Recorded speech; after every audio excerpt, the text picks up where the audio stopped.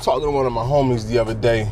Texting one of my homies, one of my good homies. I'm saying somebody, somebody I really consider a friend. Like we trying to figure out what we gonna do. We gonna kick it. We gonna hit the cigar shop. We gonna go do something. My phone starts ringing, and it's this ball I'm texting with. Man, listen.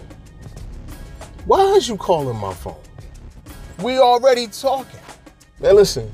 If you got something to say in a, that don't fit in the text, you got something to say I don't want to hear. We was communicating flawlessly.